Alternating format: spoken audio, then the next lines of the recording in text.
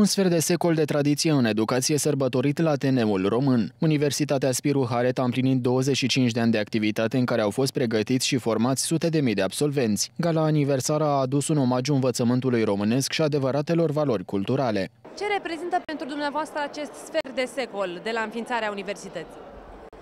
Este un moment de succes al universității, faptul că am uh, ne-am dezvoltat timp de 25 de ani și că intenționăm să ne dezvoltăm în continuare, pentru noi reprezintă uh, un moment uh, important și nu numai pentru noi, pentru toată lumea academică din România. Fără învățământ nu putem să susținem economia, nu putem să susținem țara. Evenimentul a debutat cu un moment ceremonial, o incursiune în universul haretist, ce a ilustrat istoria, viziunea și realizările instituției. Startul festivităților a fost dat de rectorul Universității Spiriu Haret, conferențiar universitar dr. Aurelian Bondrea. Alături de acesta au urcat pe scenă invitați de prestigiu precum academicianul Răzvan Teodorescu și președintele Consiliului Național al Rectorilor, profesor universitar dr. Sorin Câmpeanu. Seara a continuat cu un spectacol aniversar susținut de studenți, absolvenți și invitați speciale ai Facultății de Arte.